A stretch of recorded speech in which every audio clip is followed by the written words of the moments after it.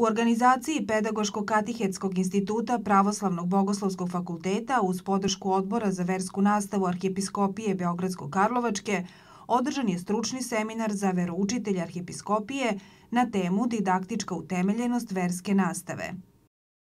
Ja vas sve zajedno, dragi veroučitelji, pozdravljam u ime odbora za versku nastavu Arhijepiskopije Beogradsko-Karlovačke. Ovo je već ustaljena praksa da poput onih prvih dana septembarskih kada činimo priziv Svetoga Duha za uspešan i plodonosan rad, to krajem juna činimo kao blagodarnost samome živome Bogu za sve darove koji su nam evo bili tu prisutni u nama i oko nas da uspešno završimo i kraj školske godine u vidu jednog seminara. Ovo istovremeno je jedna mala smotra svega onoga što smo za ovih godinu dana činili u delokrugu našega rada, a isto tako bome moram napomenuti i ono što nam je negde promaklo, što nismo u dovoljnoj meri odgovorili pomenutom momentu, a trebali smo. Vi ste primetili da je, pored ovoga perioda od 15 godina, primetili ste da iz godine u godinu, da mnogi ljudi u crkvi, moram to reći i oko crkve, u prosveti, van prosvete srpske, da su bili mnogi uključeni u sam trud i rad uvođenja verske nastave u naše školstvo. Ali kako su godine odmicale, nekako se čini da smo ostajali sve više usamljeni.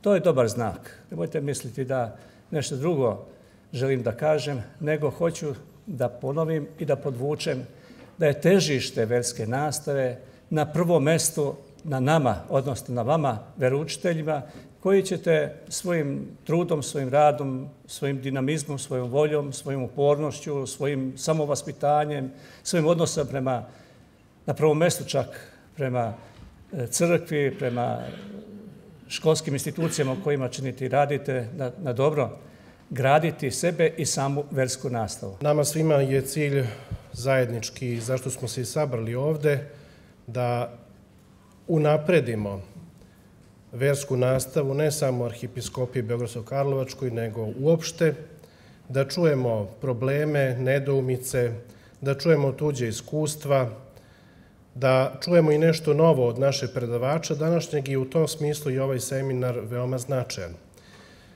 Takođe, ono što je moj utisak i uopšte mišljenje jeste da je veronauka danas najvažnija misija crkve, jer upravo u vašim rukama, rukama veručitelja, jeste i budućnost naše crkve, budućnost naše dece i naše crkve.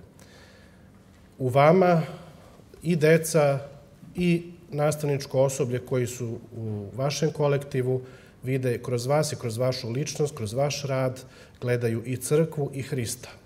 Tako da je jako bitno ne samo šta govorite, nego je bitno i kako se ponašate. E, vaš život, vaš lični primer je takođe veoma, veoma važan. Ne samo nas, ljudi koji smo u mantiji, nego svih vas koji vršite misiju crkve u našim školama. Vi u, školi, u školama predstavljate e, ne samo crkvu i Hrista, vi u školama predstavljate još nešto što je veoma važno, a to je model deci, ali model onog, onih pozitivnih vrednosti. I te pozitivne vrednosti vi morate u, u ovom vremenu u kome se svi nalazimo i gde, nažalost, mnogo više nekih drugih stvari je sve više prisutno, ako ne i ako nisu provladale našim školama, da vi budete ti koji će negde vratiti veru i deci i svojim kolegama u školama i svojim direktorima i roditeljima da ipak prave vrednosti na kraju pobeđuju. Da verska nastava bude e, zastupljena kroz sve predmete, da veroučitelj u školi bude neko ko će kroz svoje e, kompetencije e, prosto koje posjeduje dati svim predmetima pečet. Jer ako idemo ka nekim ciljevima koji e, se zovu ishodi, ciljevi ishodi, i ako govorimo o činjenici da deca u nekom trenutku moraju imati funkcionalno znanje, e, ja ne vidim ko bi više mogao da govori kada je u pitanju etika, kada je, a nje kao predmeta nema u osnovnoj školi, da govori i o etici i o moralu i o e, značenju svih onih pozitivnih vrednosti koji treba da budu sastavni deo ne samo jednog predmeta, nego svakog predmeta.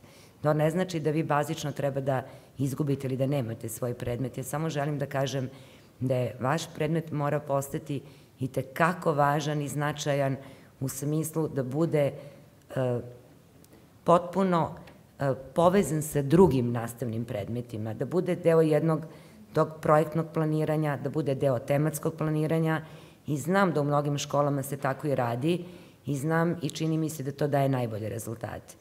Ali ako ne govorimo samo o tome kako će izgledati predmet, možda je važnije da govorimo o tome šta deca e, treba da dobiju ili očekuju od vas.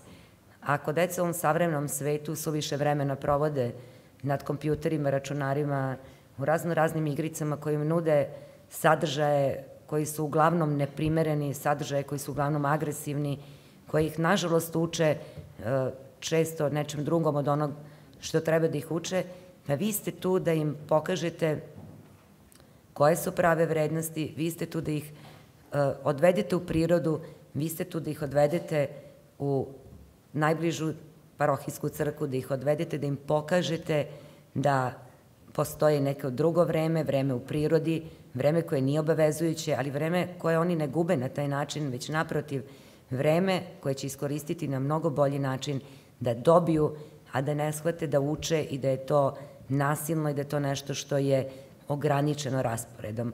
Ja vas negde molim da budete kreativni u svojim planovima i programima, da što više razmišljate o tematskoj nastavi, da što više sa svojim kolegama predlažete i tematske nedelje, da, jer zaista i istorija umetnosti i muzika i sve može i sve potiče negde bazično ili je zastupljeno u ovom što vi predajete i čime se vi bavite. I ja sam skoro čula primer uh, da u jednoj školi, bila sam presrećna, uh, je veroučitelj, više deca dolaze kod veroučitelja nego kod psihologa. I to je jedna možda dobra poruka. Treba deca da idu kod školskog psihologa i pedagoga, ali deca treba da idu i kod vas.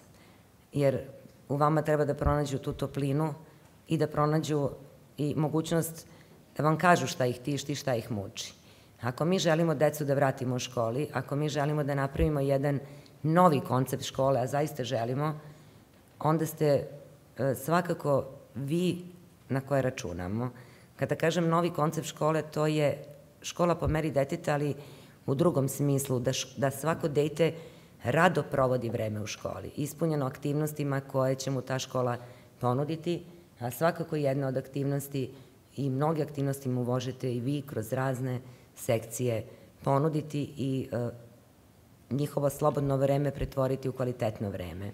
Na završnom skupu, realizovanom povodom kraja školske 2016-2017. godine, koncipiranom u vidu seminara, prisutnima se između ostalog obratila i profesor dr. Vera Radović, napominjući da pedagoška komunikacija u svetlu savremenih didaktičkih teorija stvarnosti i inovacija u nastavi između ostalog podrazumeva interakciju između vaspitača i učenika i jeste rezultat brige i staranja o razvoju verske nastave i njenih efekata u Srbiji.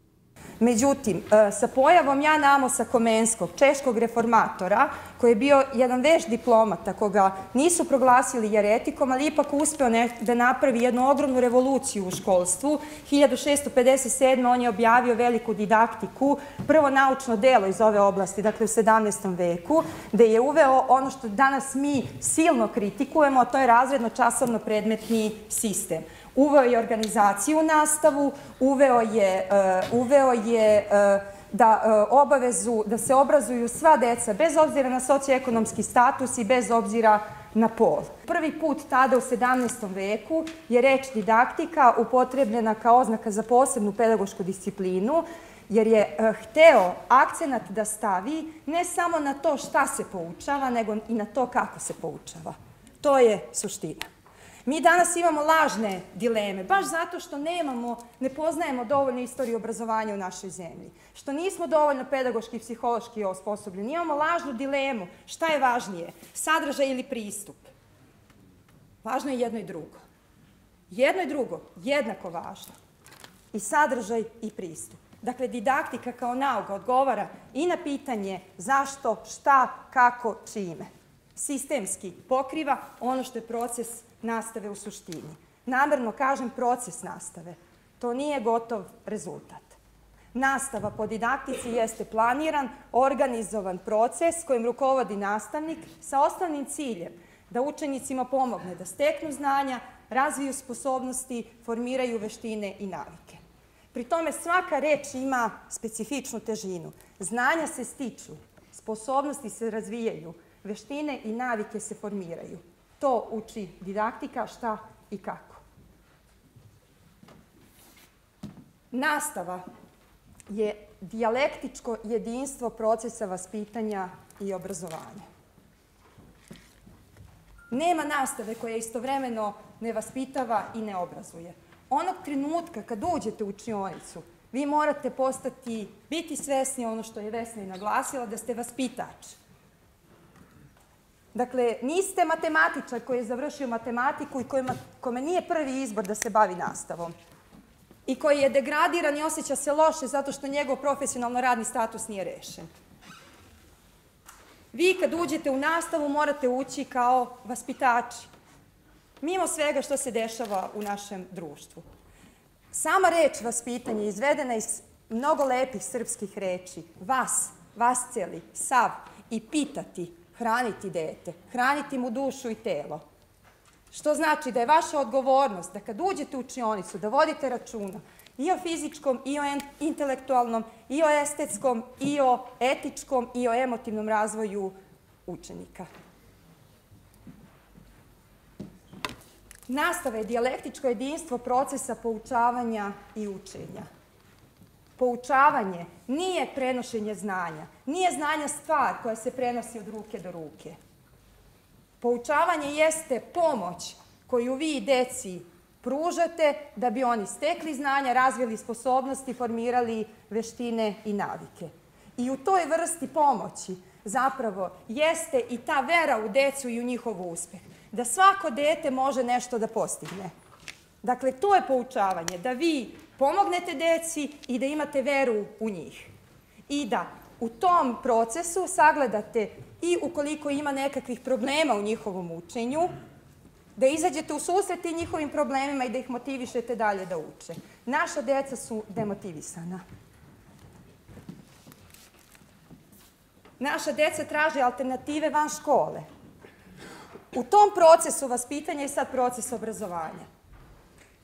Pazite, didaktika kao nauka veliki akcent stavlja na sam proces obrazovanja i na to intelektualno, jel da u ovoj sferi tehnologije i naučnog napretka veliki značaj se stavlja na taj intelektualni aspekt razvoja dece.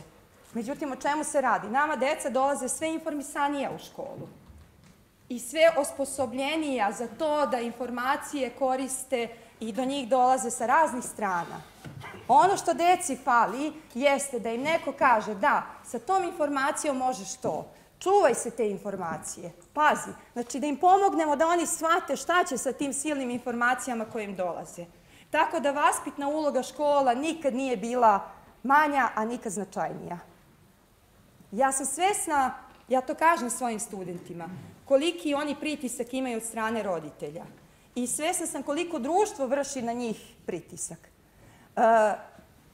Po cenu da me Vesna izgradi posle, ja ću reći, ja sam, shvatam da je pritisak na nastavnike i na one administrativne poslove u školi, na pisanje silnih priprema, ogroman i da u sve to se očekuje da vi budete u sve svoje porodične, privatne tokove životne i sve ono što treba da uradite sa tom decom i onda kažete pa dobro, ako njega roditelji ne vaspitavaju, što sam ja, šta, šta ja tu da tražim? Ali prosto mi nemamo Hipokratovu zakletvu kao medicinski radnici. Ali samim opredeljenjem da uđete u nastavu i da se bavite tim poslom, vi znate kakav po znacima navoda teret ste preuzeli na sebe, odnosno koju vrstu odgovornosti, koju vrstu odgovornosti imate. Uh, ono što, što, što ja želim sada jeste u vašem inicijalnom obrazovanju, dakle bi trebalo da bude puno didaktike. Imamo nešto što se zove uh, obaveza nastavnika da kad krene na čas uh, definiše obrazovni, funkcionalni i vaspitni zadatak nastave. Dakle, ja ne mogu da uđem u učionicu, a da prvo ja kao učitelj ne znam šta, koja znanja moji učenici će da steknu. Koje sposobnosti kod svojih učenika ću da razvijem, imajući svest o tome da ne mogu da za 45 minuta razvijem sposobnost, mogu da doprinesem razvoju određenih sposobnosti. A sad kako ću da doprinesem razvoju sposobnosti ako ja ne znam šta su sposobnosti? Kad ne umem da ih prepoznam, ne umem da ih definišem. I moram da budem svestan one vaspitne uloge, a to je da na svaki čas idem istovremeno i da obrazujem, i da doprinosim razvoj sposobnosti i da vaspitavam svoju decu. Didaktika je pedagoška disciplina koja se bavi problemom nastave u najširem smislu. Njen cilj je da otkrije principe i zakone uspešne nastavne delatnosti kako bi praktično unapredila proces obrazovanja. U to ime pokrenuto je i pitanje o neophodnosti ili pak ispravnosti uvođenja prakse ocenjivanja učenika iz verske nastave. Dok ne promenimo nekakve okolnosti društvene, dok ne promenimo odnos prema znanju, vrednovanje znanja, ta ocena jeste jedan od, od elemenata koja bitno utiče, nažalost, i na odnos prema predmetu. I znam da, da prosto mislite da bi tom ocenom se odnos prema predmetu promenio, kod nekih bi, kod nekih ne bi ni to uticalo. Što se tiče ocenjivanja, ja sam za ocenjivanje, zato što ocena jeste nekakav formalni pokazatelj, ali suština nije u rezultatu, suština je u procesu. Sama dokimologija propisuje četiri funkcije ocenjivanja. Jedno je informativno, da vi kažete učenicima šta su oni postigli, onim jezikom kojim će oni da razumeju. Ako vi znate, ono što sam pričala malo pre, s kakvim ste zadacima otišli na čas, kakve ishode sa tog časa želite da postignete, koji su istovremeno jasni i vašim učenicima, onda će i oni i dobiti pravu informaciju o tome šta su postigli. Ja ne mogu da verujem da još uvek u našim školama imamo nastavnike, učitelje uh, koji ovaj, uh, drže kontrolni zadatak i po mesec dana ne daju deci rezultate ili ne obrazlože svoju ocenu. Druga funkcija jeste ta razvojna. Nije dovoljno samo reći detetu šta je postigao. Potrebno je pozitivno da bi se ostvarila i ona treća motivaciona funkcija, detetu reći šta je sledeći korak u njegovom učenju. To je zona narednog razvoja. To je korak napred. Šta si postigao? Pozitivno. Znači, uvek krenemo od onoga što je dobro, što je postignuto, šta je sledeći korak motivišemo dete za taj sledeći korak, e, kad to sve imamo, onda pričamo 1, 2, 3, 4, 5. Kad vam dođu roditelji na roditeljski ili u individualni razgovor sa vama, ne pričate o njihovim problemima na poslu, nego pokažete sve što ste, ove, sve rezultate praćenja deteta tokom rada. Sve što ste zabeležili, što ste zapisali, što ste rekli, i o tome pričate sa roditeljima. Ja ne kažem da će to smiriti nervozne roditelje, ali e, vam je to zapravo najbolji argument u razgovoru sa njima.